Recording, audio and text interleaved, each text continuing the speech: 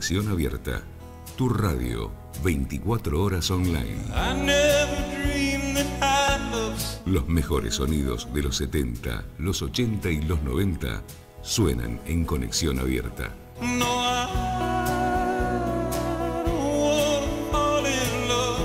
Conexión Abierta, donde vos estás.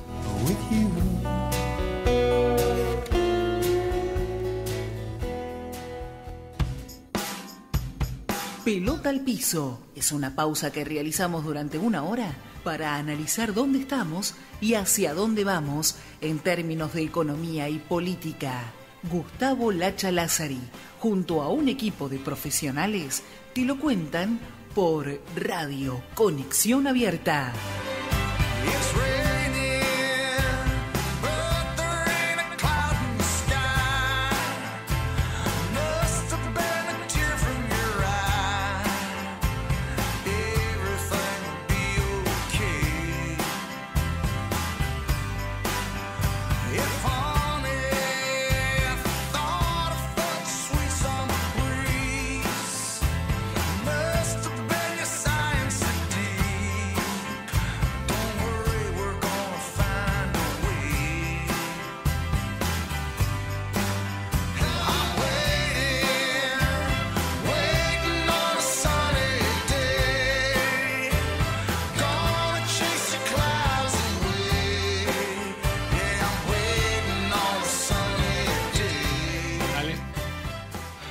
Buenas tardes, eh, mi nombre es Gustavo Lázari, feliz día Doña Mica, feliz día amigo a todos. Hoy un programa muy, muy, muy fuerte para mí, por varios motivos.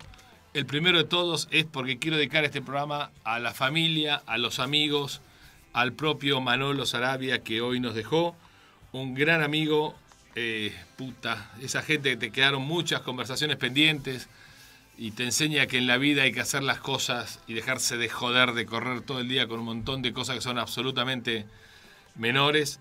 Pero bueno, Manolo Sarabia fue presidente de la Juventud de la UCD, en mis viejos tiempos de la UCD, un gran presidente hemos tenido y era un tipo extraordinario, muy preocupado con algunos temas sociales, era de un liberalismo social muy interesante, muy...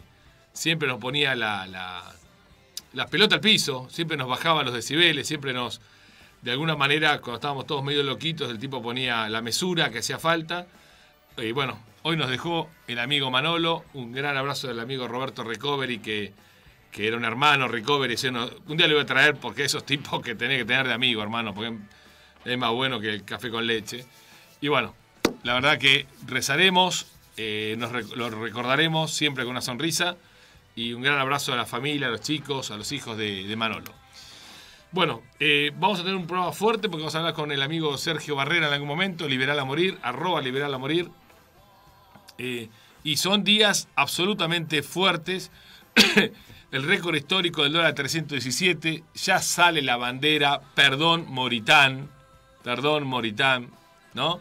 Lo mataron cuando el pibe dijo dólar a 400, lo mataron y ahora, viste, bueno, eh, muchachos, para toda la, tribu liberal, aviso, fuimos muchos los que predijimos esto.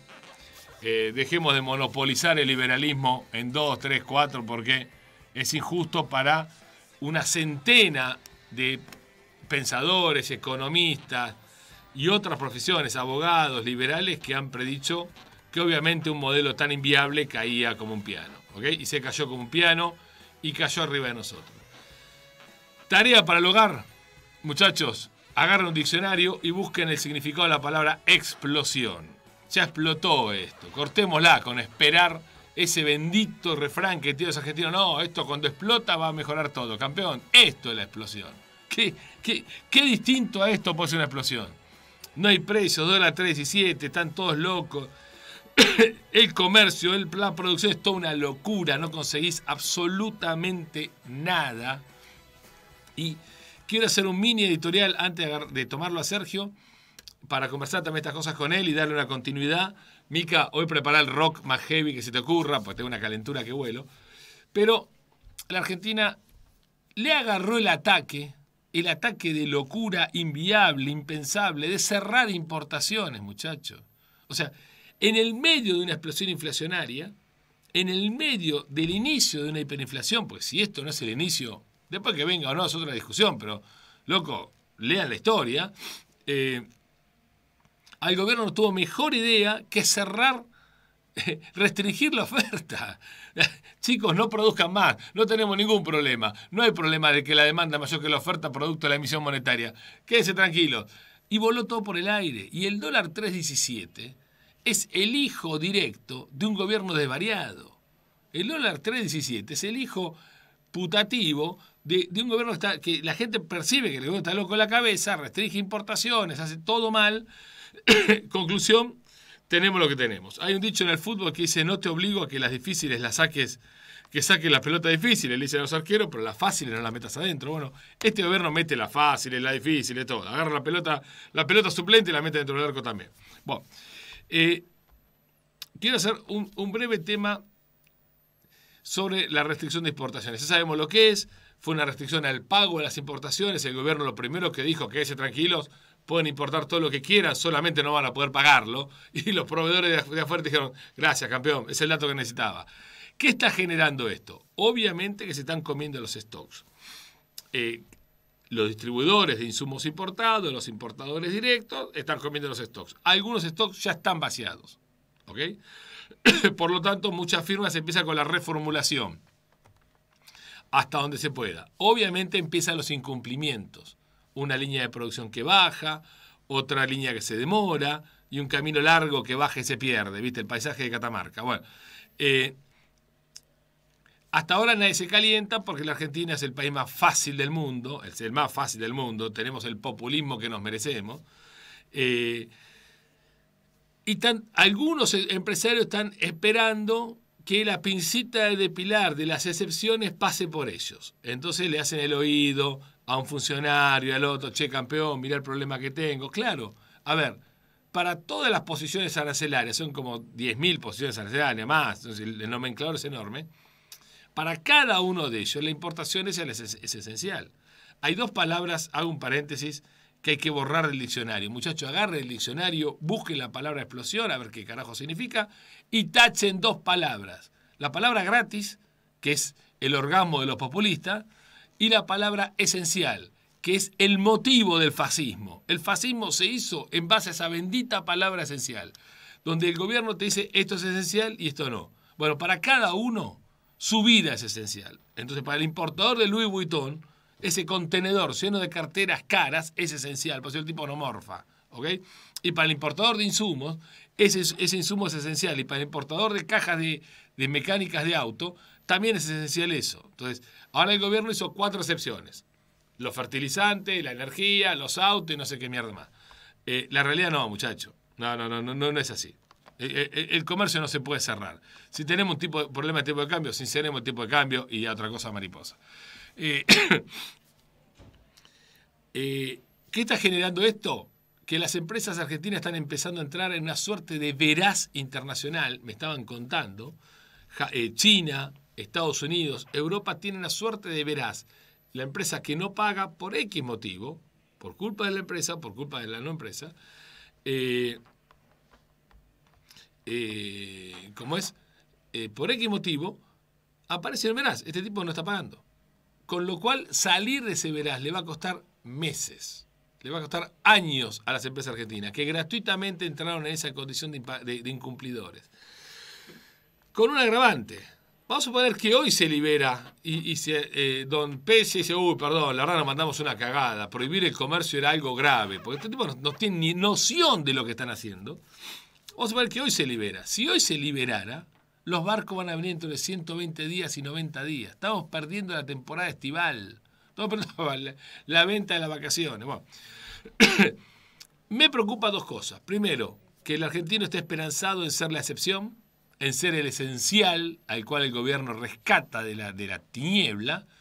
Y este tema de que no creemos en las normas abstractas y generales. Hayek tiene un capítulo del libro eh, Fundamento de la Libertad que se, habla, se llama Normas abstractas y los impulsos emocionales de la sociedad tribal.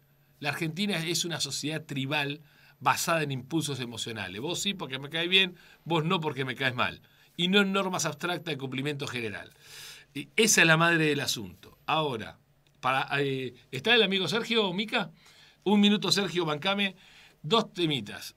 Me saca de la cabeza, me amarga, me pega un, un tiro en los pies, para no decir en qué otra parte del cuerpo, el empresario que dice, a mí esto me conviene. ¿Sabes qué? Me importa un carajo que te convenga, hermano. Porque a vos te conviene porque el país se hunde, el país se, se sacrifica, tu hijo se va del país por esta porquería que te conviene a vos. Y segundo, esto es como eh, los presos del Gulag que se ponen contentos porque las papas le cayeron cerca. ¿Sabes qué? Te están tirando papas, hermano. Usá la croca, fíjate dónde estamos. Entonces, hoy me decía uno, no, cerrá el pico, hermano, porque esto nos conviene a nosotros. Y, yo creo que a mí también me conviene. No sé si habría, tendría que sacar la cuenta, no sé. Pero no es el punto. El punto es que está mal. Que te convenga o no es otra discusión. ¿Ok? Bueno. Último, después lo dejo para, el final. Dale, dame con Sergio. ¿Está amigo Sergio?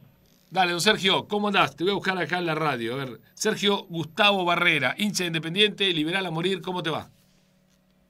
¿Qué tal, Gustavo? ¿Me escuchás? No te escucho, pero ¿por qué no lo tengo yo? Pará. Hola. No, porque soy tan nabo que no tengo volumen y nunca tuve volumen en el coso. ¿Cómo andás, Sergito? Eh, ¿Ahí me escuchás? Perfecto, más que, más que perfecto. ¿Cómo andás? Contame algo, porque yo vengo caliente como una pava y prefiero escuchar a un tipo más mesurado como vos. Después de escucharte a vos, eh, no muy bien, pero bueno. Eh, el tema de la explosión que vos dijiste, hoy me preguntaba un, cliente, ¿cuándo explota esto? Y le digo, ¿no te diste cuenta que ya explotó? O sea, ¿qué, es una hiperinflación? ¿Cómo la medimos? ¿Cuándo entramos en hiperinflación? ¿Cuando son dos dígitos? ¿Cuando, cuando un mes a otro crece un 30, no, no, hermano, ya estamos en hiperinflación, ya eh, para comprar 100 dólares necesitas 30 billetes de la, máxima denominación en Argentina.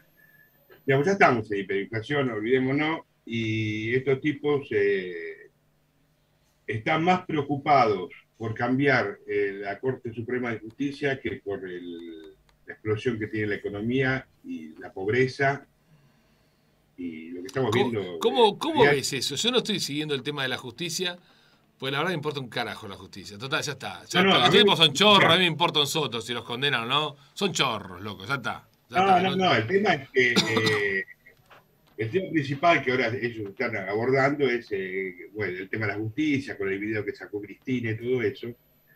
Y yo, sabes que digo malas palabras, y realmente eh, les importa un carajo de economía. O sea, pero, para, la pregunta es, ¿es una distracción que hacen ellos o es el último manotazo porque saben que se van? Y viste cuando, cuando en el fútbol te querés cargar a un rival, se quieren cargar a un rival porque le sacaron la roja a esto. ¿Puede ser eso? No, se les puede acabar la impunidad. O sea, eh, ahora viene el alegato de, de fiscal Luciani, creo que se llama, donde va a condenar, va a pedir la condena de, Cristina y eso la tiene muy nerviosa la reina y, al súbdito que puso para que le sacara estos quilombitos, no cumplió y bueno, ese es el problema político que tienen ellos internos. Pero la, economía eh, ya estalló, o sea, eh, yo lo digo con conocimiento de cosas, por mis clientes, por lo que veo, por lo que hablo con la gente. la, economía explotó y hoy el dólar a 3,17, 3,18. Eh, un amigo me decía, bueno, pero no es representativo, dice, porque el mercado blue es muy chico. digo, pero está bien, el mercado blue es chico, pero el contrato con liquidación donde se realizan las empresas está 309, o sea, no, hay mucha diferencia. O sea, que yo veo Igual, igual para, si es un mercado chico, no sería un problema, hermano. Es un problema porque no es un mercado chico. Es un problema porque no hay más dólares. Sergio, a ver si vos escuchaste lo mismo. Yo escuché el dato de, la señora, de, ¿cómo se llama? Batakis, cuando el primer discurso. Ella dijo, es un mercado chico porque eh, eh, mensualmente se procesan en, el mercado oficial para, eh, te voy a decir el número, creo que dijo, ay Dios, 100 mil millones de dólares, ¿no? Lo cual me parece una, que no puede ser, pues si se exporta 9.000, no, me da el número. Y, el, y el mercado blue son 3 millones de dólares. Si fuera así, agarrás uno de los 100 mil y liquidás el mercado blue. Es una tontería. no, no, no, Pero no, no pasa un análisis lo que dijo. Pero eso, esos fueron los números, me pareció impresionante. Y el tema eh, que, a mí digamos, me está preocupando es que el, Banco Central todos los días pierde reservas, pierde reservas, y pierde reservas que no tiene. Y, digamos, yo no soy nadie para armar ni nada, pero ahí están los encajes de los depósitos en dólares de la gente, que supuestamente son intocables, ¿no? Digamos, ellos lo cuentan dentro de las reservas, pero no son reservas líquidas para el Banco Central. Bueno, a mí me parece asombroso cómo no hay eh, información más diáfana, incluso hasta de los economistas profesionales al respecto. ¿eh? Yo eso debería estar siguiéndose como un medidor de temperatura, como un termómetro. Eh, bueno, no, lo otro escuché a, Manuel Adorni y, él decía que las reservas son negativas, las reservas líquidas son negativas. Y si está perdiendo reservas, de algún lado le está sacando. Esa es la incógnita. Y bueno, entonces. Pues pagando la. Eh, pero es como un culto religioso que nadie se anima a decir, loco, está sacando dólares de los encajes. Sí, sí, sí. O sea, eh, eh, bueno, el día que, digamos, digan eso, o, sea muy evidente eso. ahí provocan la corrida. Pasa la corrida, o sea que ya la, digamos. Igualmente calcular que en de encajes creo que hay 11.500 millones de dólares pero veníamos de 26 mil millones de dólares. O sea, 15 mil millones ya la gente lo sacó, las empresas lo sacaron de los bancos. Sabéis que eran 11.500 millones. yo creo que estamos viviendo una situación límite y, veo que no hay una, reacción por parte del gobierno. Pusieron a, esta mujer, eh, que debe ser una, una excelente economista, pero el otro día pidió una reunión con los gobernadores para le den su apoyo. Dentro del apoyo, la MINI le iba a decir que no le iba a girar más eh, ATN a las provincias. Fueron cuatro gobernadores. Fueron cinco. Cinco eh, gobernadores. Eh, claro, o sea, yo no sé si, si llega el viernes. o sea, si ella no toma la decisión de decir, bueno, mira, no, no camina esto, me voy. Mira, yo te voy a dar una, una mala noticia. Yo no sé, a ver, yo creo que la gente está cómodamente adormecida y hay muchos a los que les conviene esto. Sí, sí, o sea, siempre está hoy, hoy, hoy, hoy, me lo dijeron, ¿eh? dejate de romper porque a nosotros nos conviene. Claro, gente que me lo dijo. a un nicho le conviene, pero el país se está, se está destruyendo. O sea, eh, pan para hoy, para mañana, porque cuando no, no, tengas consumidores que te, que te compren lo que, lo que a vos te conviene hoy, eh, esta situación, eh, tampoco te va a convenir. Eh, yo creo que estamos en una situación eh, límite. Yo al hacerlo hablaba, hablaba con mi señora, le digo, ya la pasamos esta, pero me agarra más viejo y más cansado, ¿viste? Eh, digamos, no pensé que iba a pasarla de nuevo. Y realmente estamos en una situación límite porque, digamos, no tenemos moneda. Lo que decís vos, ya no, digamos, están trabando el comercio y trabar el comercio es crear más miseria y, y lo que decíamos, vamos camino a Venezuela, ya más o menos, digamos, no hay mucha diferencia. Sergio, vos tenés clientes, eh, eh, recordemos, estamos hablando con Sergio Barrera, es contador, no voy a hablar obviamente de, tus clientes, pero me consta que manejás la actividad de, empresario privado, pyme y grande, local. Eh, una cosa es trabar el comercio con un arancel y otra cosa es prohibirlo. La, elasticidad del objeto que no está es infinita. El precio. dice, ¿a, cuánto puede llegar los precios? ¿Qué sé yo si no tengo el producto? ¿no? Eh, cero o, cien mil es lo mismo. Todo número multiplicado por cero es, cero. tengo un cliente que le compra a un importador, ¿no? Hoy el importador a la mañana le dijo: si tenés algún pedido, hacémelo antes de las 12, pues a las 12 cierro. Y no, pero no vendo más. Pues yo cliente de hace 30 años, ¿viste? Entonces, mira, hasta las 12 voy a estar. Le tiene que sacar todo lo que tiene. o sea, claro, pues el tipo que, no quiere largar el stock porque es su defensa. Si el tipo son importaciones de repuestos de auto y hace un mes que no puede importar, y el tema que, como decís vos, ellos le dicen, no, vos podés importar, lo que no podés es pagar. Y los japoneses le dicen, no, hermano, si no la pones, digamos, ¿y cuándo vas a pagar? ¿En 180 días? La, pregunta que le hacen del exterior es, ¿y vos sabés así, dentro de 180 días a qué tipo de cambio vas a pagar? Como diciendo, ¿vas a poder comprar los dólares? No, no, es que está claro que a, mí me decía un yo hablé con, hablé hablado con 10, 15 importadores en, en, lo que va de la semana, más, sí, 15 por lo menos, y los tipos decían, yo te vendo hoy, vos me das un cheque en blanco hasta el día 180 y yo lo lleno por la diferencia cambiaria, que eso sería lo lógico. Suponiendo que el día de 180 te dan los dólares, ponele a un oficial de 200. ¿Ok? Vamos a hacer una cosa razonable. Que hoy el dólar está a 133, 135, me cobra eh, 2 dólares el producto, 135 por 2, 270, fenómeno. Pero cuando tiene que pagarlo, el tipo va a tener que poner, eh, si, si, va a 200, 400 pesos, no 270. Entonces, ¿me haces un cheque por 130? Y yo digo, no sé, porque yo tampoco le vendé un fiambrero. dame un cheque abierto que después se lo doy al loco este que me dio el insumo.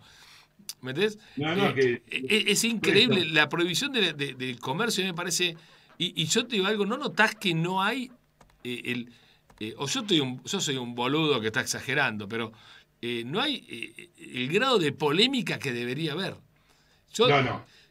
no sé, tengo, tengo, tengo mi mi hipótesis, ¿eh? tengo mi hipótesis. Yo creo que ese problema, eh, Gustavo, bueno, nos conocemos hace muchos años. Eh, los que hacen quilombo son los que están en el gobierno. Entonces, digamos, la, sociedad argentina es una sociedad mansa, y los que en el 2001 salieron a la calle a romper todo y todo, son los que están gobernando. Y hoy escuchar, ayer escuchamos que el, el acto del 17 de agosto es el apoyo al gobierno. O sea, el secretario está de acuerdo con el, gobierno en crear más miseria, en, eh, en, no crear trabajo y crear desocupación, porque lo que estamos diciendo, si vos trabajas en comercio y el importador no puede importar y tiene cinco empleados, es decir, bueno, me quedo con tres. y, si yo consigo los insumos para fabricar eh, la taza que tengo acá, y bueno, tengo 20, 20 operarios, bueno, voy a suspender a 10. Entonces, digamos, esto, esto es, digamos, eh, estamos en una vorágine, por eso la explosión no es un instante, la explosión es una película. Y las esquinas Muy, muy, bueno eso, muy para, para, muy bueno eso. No esperen la explosión del fogonazo de Navidad con tres tiros en el aire. No, no, es una película de decadencia. Eso es la explosión.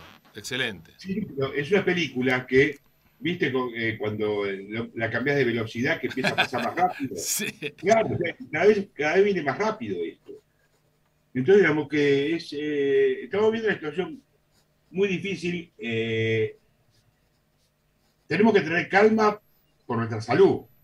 Pero realmente es muy preocupante todo esto y que la política esté en otra cosa. Cuando hablo de la política, hablo del oficialismo y también de la oposición. la oposición Claro, la oposición yo pienso que tendría que salir con los, tapones de punta.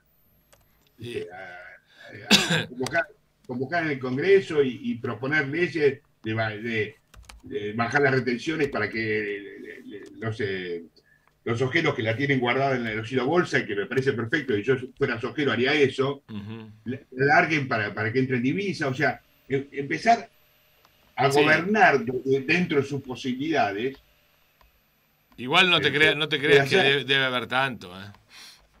Yo, ¿Eh? Para mí no, no, no, creo que el problema sea el, el, el, atesoramiento en silo bolsa. Pero bueno, está bien, eso te da una respuesta rápida. No, no, es un ingrediente más, no es un ingrediente más. Pero si están desesperados para que entren dólares y de 2.500 camiones que tenían que haber entrado en eh, lo que va del mes, entraron 1.100 camiones además al Puerto Rosario, evidentemente una retención porque lógicamente, ¿qué se espera? Una evaluación. Y yo, mi, trabajo, el fruto de mi trabajo es la soja. Y voy a vender de, a granito para cubrir los gastos, porque digamos, la incertidumbre es muy grande. Igual la gravedad, la gravedad es que ya eh, liquidaron mucho. No, es que la liquidación fue baja, eh, o sea, lo que tenían que portarse se, se portaron. A mí... el primer semestre, fue por, eh, récord de exportaciones. Y sabían que para esta época del año no iba a haber exportaciones. Y sabían que para esta época del año iba a haber importaciones de energía. Pero este tipo PS, no, no, sé, realmente PS, bueno, el Ministerio de Economía eh, no sé qué, qué están pensando, si ahora hablan de un dólar diferencial para el turismo, un, parche, un parchecito chiquito que no, sirve para nada. Y el tema de la, de la explosión, que es una película, como toda película tiene un final. Y el final va a ser, sí, la explosión grande, la devaluación, un, golpe inflacionario impresionante, un, nivel de pobreza que va a crecer de un salto un 10% más, y después, bueno, supuestamente vendrá la calma, como, como, como siempre, si viene gente racional, si hay gente razonable para gobernar el después del fogonazo. Igual, Sergio, permitime, eh, no, sé de dónde sale esa esperanza de que después de la explosión las cosas mejoran. No, no. es un delirio eso. después, después de la explosión puede, puede, puede explotar todo por el aire peor. No, no, después de la explosión, ¿qué pasa? Eh, eh, vamos a hacer una suposición que no, tiene nada de predicción ni nada. Ponele que mañana el gobierno diga, bueno, está bien, libero todo, el dólar se va a 280, el dólar oficial y el paralelo, todo, todo 280. va, a ser un necatombe, pero los actores económicos por lo menos van a tener una certidumbre temporaria de que se acomodó ahí y va a empezar a haber un poquito más de actividad. No, yo te digo algo, Sergio, yo no tengo ninguna duda que cualquiera sea los valores, cualquiera, con todo lo que nos va a doler el traste a todos nosotros, porque no es que lo digo porque a mí no me va a doler, me va a doler tanto como cualquiera, eh, pero con otra conducción política la cosa se... No digo que se ordene, porque si uno hace la reforma no se ordena, pero se va a calmar, va a haber paz y va a haber trabajo. Eso no tengo ninguna duda. El problema es que acá el problema es político y, la política, no, como empezaste tu comentario, no, no, reacciona. No, no, pero bueno, si esto no viene acompañado por una reforma, pero eh, la reforma del gasto público, la reforma impositiva, la reforma laboral, es pan para hoy, hambre para mañana. Esto dura seis meses, dentro de seis meses estamos igual. Yo te quería comentar una cosita muy cortita sobre este aumento del impuesto a la, Vamos a eso, dale. El crédito. Eh, los impuestos se dividen eh, en impuestos al consumo, impuestos al patrimonio, impuestos a las ganancias. Estos tipos te ponen un impuesto al consumo a cuenta de ganancias, porque lo que te ponen es un impuesto al consumo a cuenta de ganancias, sobre algo que vos pagaste impuesto al patrimonio. O sea, a ver. El desastre que hacen con el, con el sistema impositivo argentino porque, digamos, yo si consumo con tarjeta y me ponen un impuesto, esa cuenta de otro impuesto, me están poniendo un impuesto al consumo que es a cuenta de, otra categoría que... Contame, para, poneme en tema porque me perdí. ¿Cuál es el impuesto del que estás comentando? Este incremento del 10% en la ah, tarjeta de crédito. Eh, para las compras en, dólares con la tarjeta de crédito. Exacto. Que después, por ejemplo, en mi en el caso del monotributista, por él como tributista de una categoría alta, tenga la suerte de irse a República Dominicana. Gástale. Le ponen a cuenta de ganancias eh, ese impuesto que no puede tomar porque no, presenta que la de ganancias. Pero sí puede pedir el reintegro. Ok. Eh, vos lo tomás a, cuenta del impuesto o pedís el reintegro. Pero, para, igual, vos pagaste 100 pesos, te lo dan dentro de un año, te clavaron impuesto es, una confiscación por la mitad o lo que sea, ¿o no?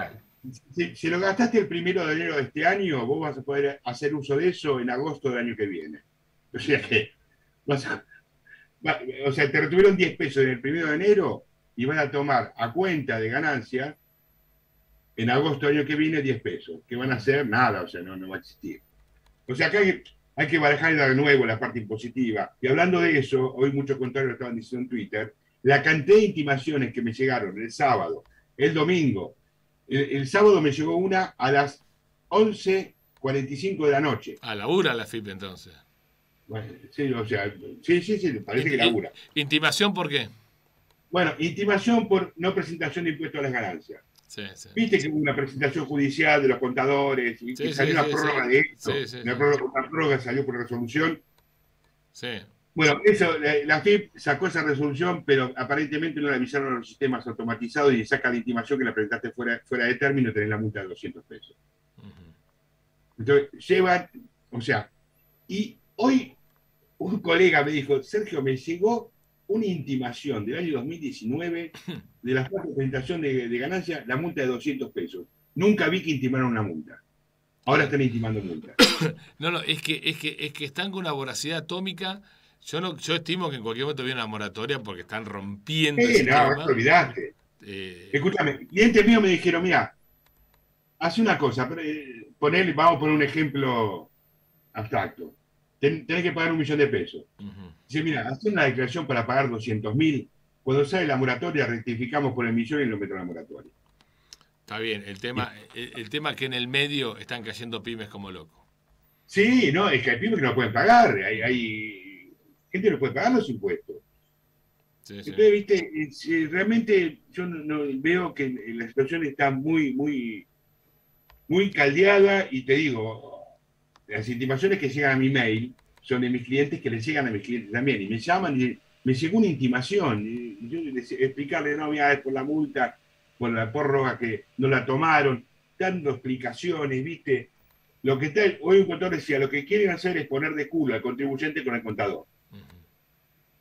Por, por, el quilombo que armó el Consejo Profesional de pedir eh, una cautelar para que prorroguen. Ah, no, miren qué pavada están también, ¿eh? Sí, no, no, olvídate, olvídate. Eh, la verdad que es, es, es, muy difícil, la verdad que la profesión ya es muy difícil de por sí. No, la, la profesión tuya ha sido desvirtuada y carcomida por el Estado, absolutamente desde hace muchísimos años.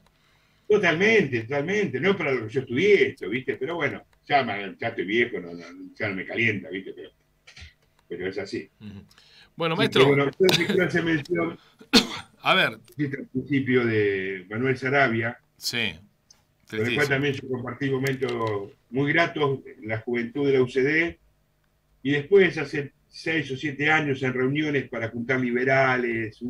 La verdad que siempre fue un guerrero y hoy me enteré por, por boca tuya de, de, su fallecimiento y la verdad lo sentí muchísimo. Sí, una tristeza, mando... gran tristeza, una gran tristeza. Aparte, relativamente joven, una gran tristeza.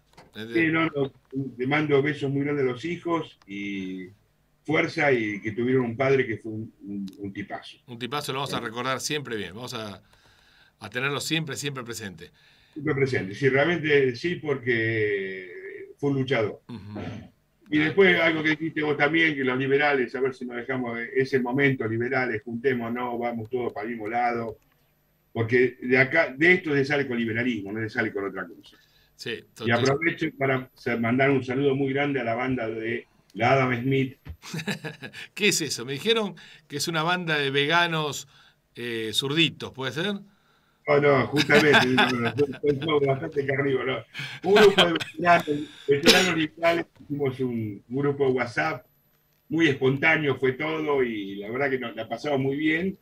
Y, y bueno, ya, ya, ya, nos van a conocer. Bueno, uh, encima, encima amenaza la Adam Smith, qué grande. Qué bueno, bueno, vamos a dar un gran abrazo a los muchachos, me encanta el nombre, así que, y si estás vos, es buena gente sin lugar a dudas, loco, así que bueno. Está Alberto Serviente, que vos lo conocés también, está Federico. Una banda, también, una banda de. Sí, eso, de, eso de vegano tienen lo que yo tengo de astronauta, pero bueno, dale. sí, no tengo nada con los veganos, todo bien. Bueno, Sergito, gracias, che, por estar. No, eh, gracias a vos. Eh, ahora me quedan 10 minutos para empezar a sufrir con Independiente. Y bueno, ahí, ahí, ahí, ahí hay que cambiar, ahí también hay que hacer un cambio importante, hay que sacar la mafia, hay que sacar la mafia de todos lados, hermano un club tremendo como Independiente, mirá lo que se le enquistó ahí arriba. Y bueno, estamos ya, eh, es parte de lo mismo, de sí. lo mismo que tenemos en el, en el país. Bueno, maestro. Bueno, te mando un abrazo muy grande. Gracias por estar y estarás, seguirás estando. Así que. Dale, eh, nos vemos, viejo. Nos vemos la próxima. Fuerte abrazo, abrazo a la Adam Smith, una banda de delincuentes. Chao. Mini Rock Chao, y seguimos.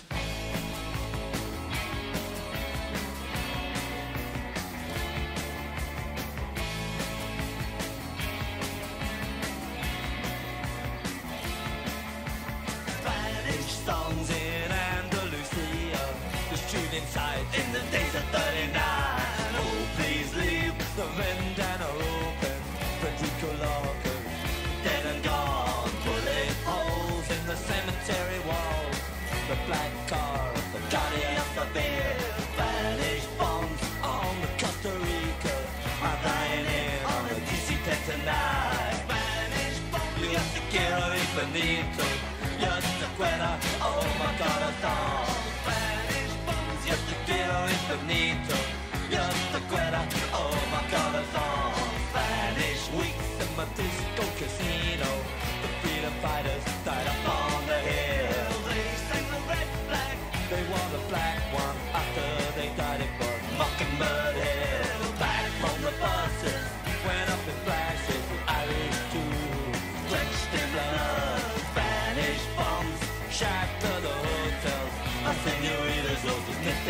Bar. Spanish bombs, yo te quiero es bonito. Yo te quiero, oh my oh.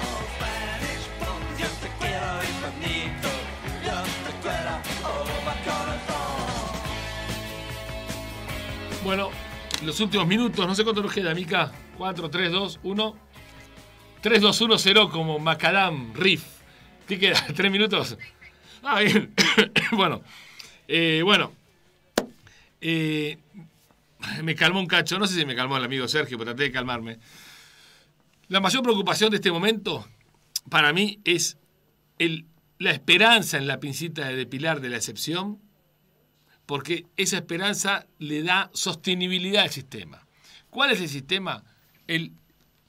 La restricción del pago de importaciones a 180 días, las empresas tienen que conseguir un crédito del proveedor, que el proveedor el campeón, con vos la mejor, pero Argentina me da miedo, o un crédito comercial, un crédito de un banco, donde los bancos y las compañías de seguro, de seguro le han dicho a empresas, y me lo han dicho importadores, campeón, tu empresa es divina, pero está radicada en la Argentina, no hay ninguna chance que me vengas a joder con eso. Han habido casos de empresas multinacionales que tienen eh, el, el ok de la casa matriz, que hasta la casa matriz le niega a la filial argentina, esto pasa en la industria de alimentos, le niega a la filial argentina el crédito. Te lo doy a Uruguay, arreglate con el uruguayo, no voy a tocar la caja de la, de la filial en Francia, en Brasil, no quiero dar mucho detalle. Eh, es muy grave lo que está pasando, muchachos. Muy grave. Todavía no lo vemos porque todavía el, empresario tiene stock y cree. Hoy me decía uno, no, pero ¿cómo voy a preocupar si esto es circunstancial? Maestro, esta, esta medida rige hasta el 30 de septiembre. Y a partir del 30 de septiembre el Banco Central declaró en forma oficial, vamos a ver cómo la liberalizamos. No es que termina. Y la, y la ministra dijo, apa- eh, vamos a hacer una planificación de importaciones. ¿Qué quiere decir? Gustavo, vos trajiste, necesitas 5 dólares, el año que viene te doy 5 dólares, no me pidas 6. ¿Ok? O sea que si vos querés cambiar la bomba de nafta y vale 10 dólares, cagaste, hermano, no la puede traer, porque planificaste 5. ¿Ok? Entonces, e- ese tipo de cosas donde una planificación de importaciones. ¿Y cuál es la esperanza? Porque a mí me vuelve loco que la no calentura convalide la barbaridad. Esto es lo que le pasa a Argentina. La esperanza es que la temperatura mejora a partir de la segunda, eh, segunda quincena de agosto. O sea que la política comercial de un país como la Argentina, que supo ser líder mundial, que supo atraer 7 millones de inmigrantes, que es la octava superficie del mundo, que debería ocupar un rol preponderante en el comercio internacional, por lo menos de alimentos, energía y, y- y tecnología, economía de conocimiento, minería, todo lo que tenemos, pesca. me, me canso de nombrar ventaja comparativa de Argentina, eh, donde deberíamos tener un rol relevante. La política comercial argentina depende del clima, muchachos. Depende del clima.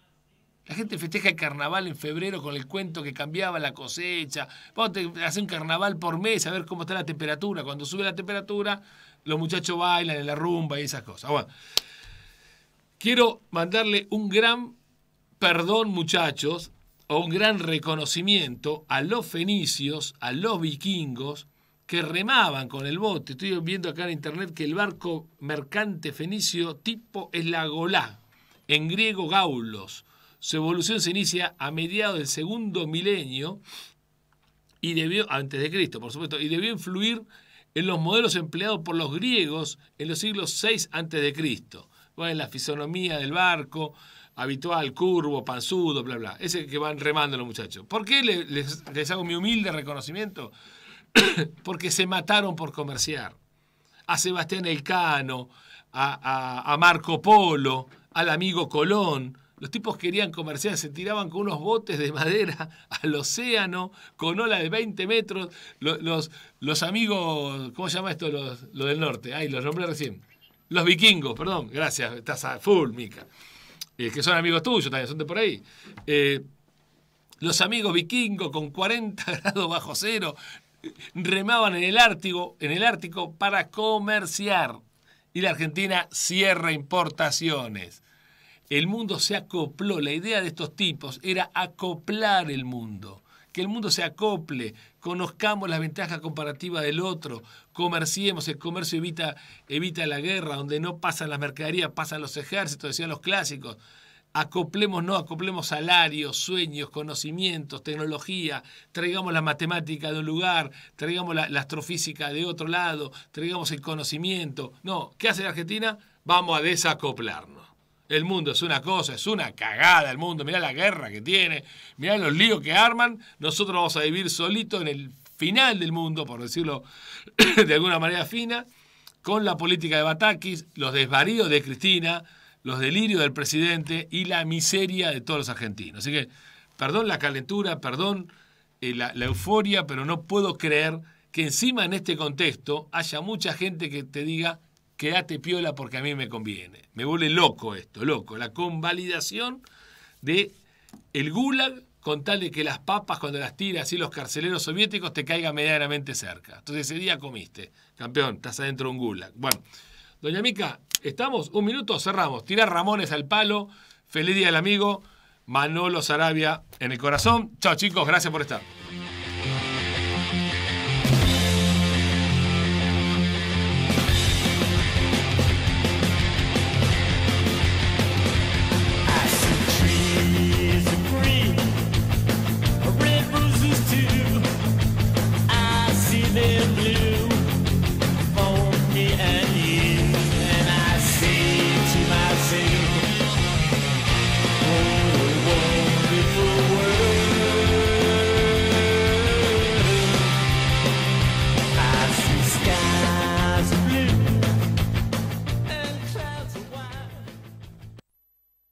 Comienzo de espacio publicitario en Conexión Abierta. Este